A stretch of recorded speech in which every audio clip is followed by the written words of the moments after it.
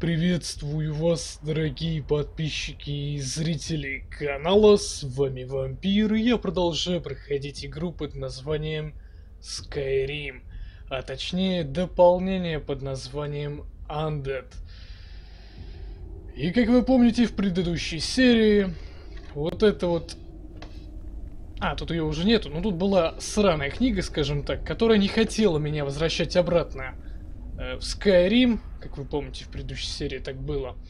И где-то, ненавидев с десятого раза, она меня все-таки вернула в Skyrim, и слава богу. И давайте вспоминать, что теперь перед нами стоит. Итак, посещение апок апокрифа увенчалось успехом. Теперь я владею достаточными знаниями, чтобы провести ритуал превращения в лича. Мне нужно найти все необходимые для обряда компоненты – Первое. Найти подходящее место для ритуала. Второе. Приготовить эликсир опустошения. И третье. Создать филактерию. Ну что ж, давайте приступим, но для начала давайте выберемся из этого довольно-таки жуткого места. Тут уже, в принципе, нам делать нечего, хотя... Я вот не пойму, мне отметка, по-моему, на карте не показана, куда мне вообще идти. Но я думаю, для начала давайте выберемся отсюда. А как я помню, выход в Скарим, по-моему, где-то вот тут был.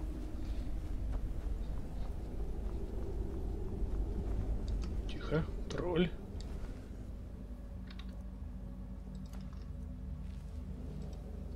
Не-не, вроде бы не заметил. Лови-ка.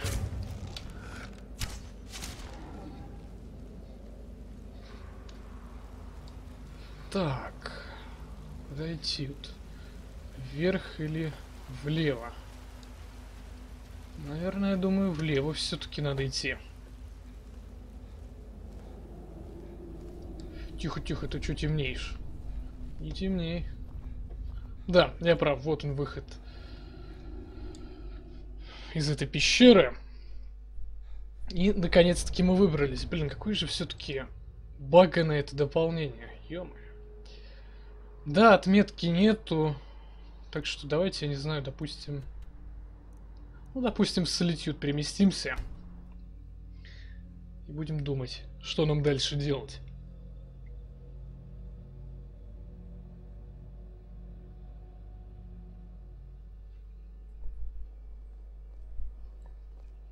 Так. Давайте еще раз посмотрю. Так, найти подходящее место для ритуала. Ну и где я буду его искать?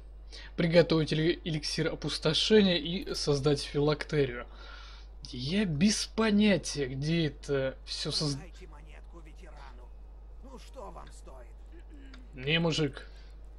Хотя, мне не жалко. О, гонец. Это походу к нам. Ты кто вообще? Я тебя повсюду ищу. Тебе просили кое-что перед... Посмотрим. Да, вот тут записка. Ну-ка. От кого? Не знаю. Жуткий тип такой. Черная одежда. Лица не разглядеть. Но неплохо заплатил, чтобы тебе это доставили прямо в руки. Но вроде ну, все. Ладно, мне пора. По прочесть послание Маклера. Маклер. Мужик, что ли, какой-то? Ну, давайте прочитаем. Ваши последние приобретения для меня не тайна. Возможно, вам потребуются некоторые предметы, которые так трудно заполучить. У меня есть все необходимое, чего вы не найдете на прилавках у суеверных скайримских торговцев. Взгляните ко мне, если заинтересованы моими предложениями. Ищите хижину к западу от озера... Что, блин? Или Налта в лесах Фолкрита.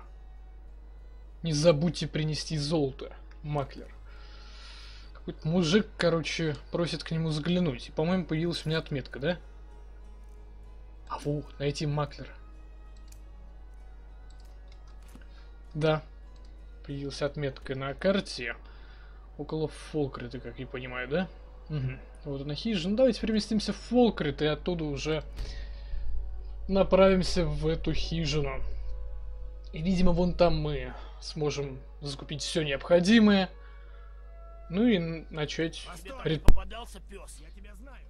Да пофиг. Тебе не Да не попадался мне никакой пес, отстань. Мгм. А то еще главное орет, постой, я тебя знаю. Ну и знаешь, и что с того. Все, погнали. Так, далековато нам что-то идти. Ну да ладно. Пока можно полюбоваться природой в Скайриме. Она шикарна все-таки, как ни крути.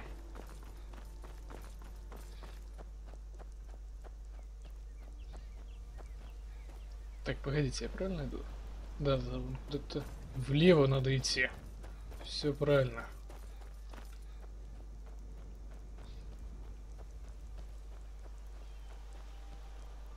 Так, а может быть что-то новое написал?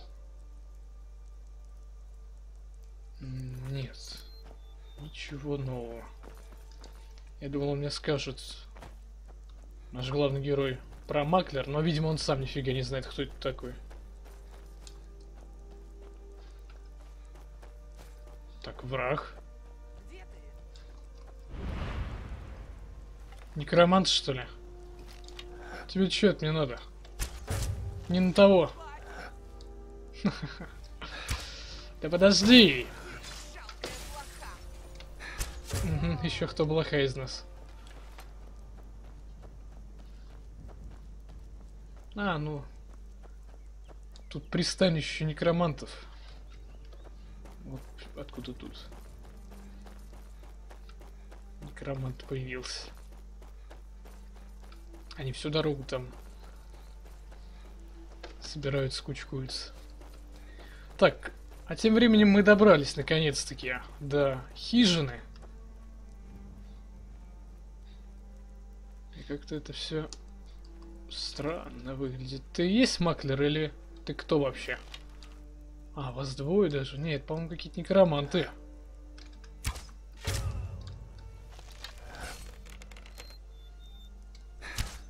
Ах, не рассчитал все-таки. Своего друга поднимает.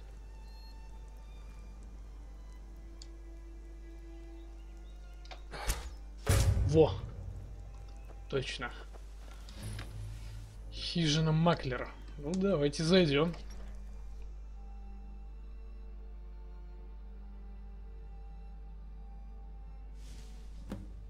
Так, мужик, тебе что-то мне вообще надо? Ничего так хибарка, честно говоря. Жутковато, конечно, как-то все это выглядит. Но мне очень даже впечатляет. Так, мужик, ну, давай поговорим теперь. Черный маклер. А, ты женщина, извиняюсь. Я думал, ты мужик. Хм, Кто там? Подойди ближе. Не стесняйся, мои глаза уже не те, что прежде. А, это ты. Я почуял это с момента твоего появления здесь. Могущество, воля, цель.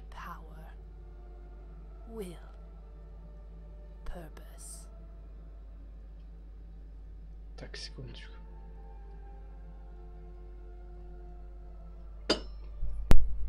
Так, это ты, Маклер? Да, конечно. Это я послал тебе письмо, а теперь ты здесь. В поисках редких могущественных вещей.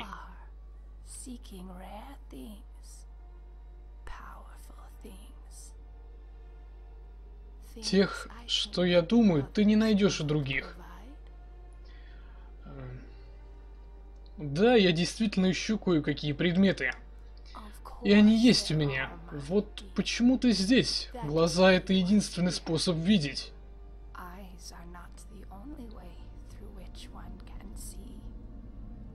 Я могу предоставить много из того, что тебе нужно. За определенную плату, конечно.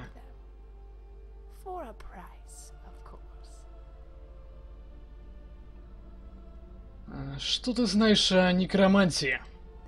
Лишь немногие предрасположены к нашему мастерству в последнее время, меньше всего в Скайриме. Но в былые времена при короле червей путь к нашему могуществу был закрыт простым смертным хиликам. Вот почему гильдия магов ненавидела и боялась нас. И поэтому магия смерти до сих пор движет стремлениями многих, даже спустя столетия, с тех пор, как ее покровитель пропал в тишине. Хм. Расскажи о себе. Я простая торговка. Из-за Великой войны сбыт некоторых товаров стал выгоднее, чем раньше.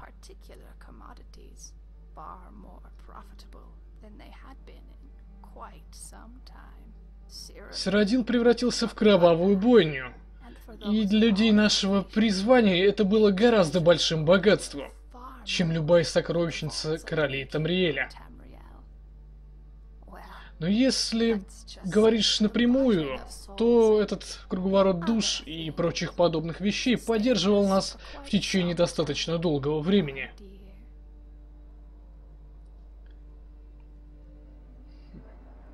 Расскажи мне о Великой войне. Столько мертвых и умирающих, столько пролитой крови с обеих сторон, и ни одна не, не остановится перед использованием сомнительных методов ведения войны ради преимущества. Неудивительно, что во время войны процветали некроманты и смерть, верно?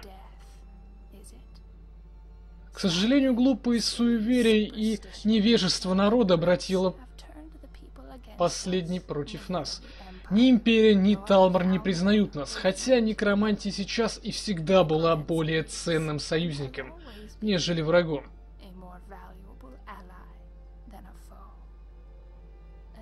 Особенно там, где смерть имеет значение.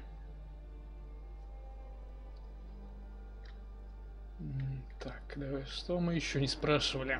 Что ты знаешь о короле... короле червей? Покровитель всех некромантов. Манимарка, король червей. В Тамриэле еще есть дураки, которые считают, что он был уничтожен 200 лет назад. Но мы-то знаем лучше, не так ли? Живую смерть не так легко убить, тем более бога.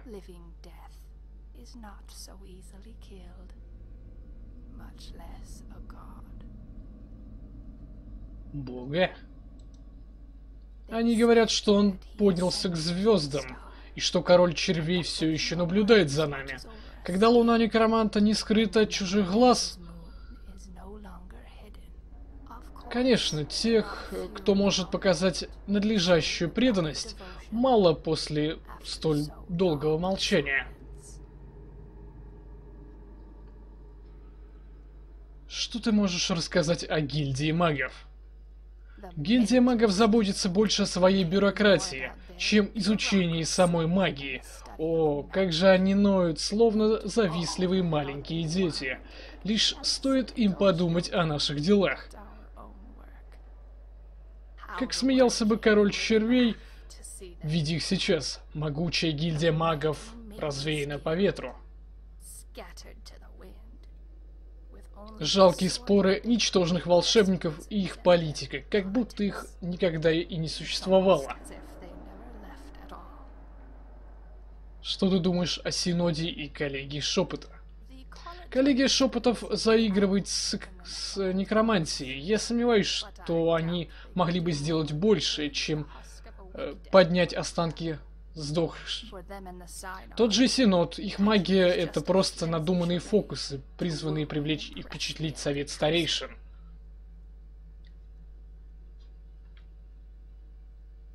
Что такое луна некроманта? Ах, да, прости память старухи. Теперь алтарей не так много, как было когда-то.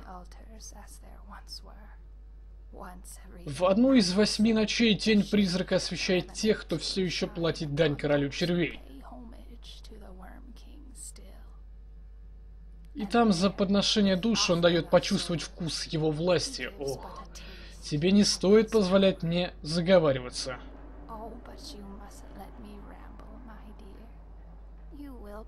Наверное, будет полезно прочитать это, чем слушать меня.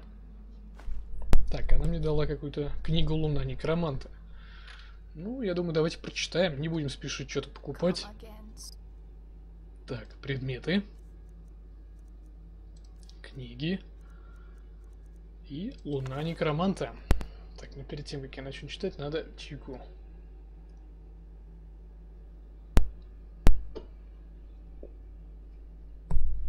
Итак.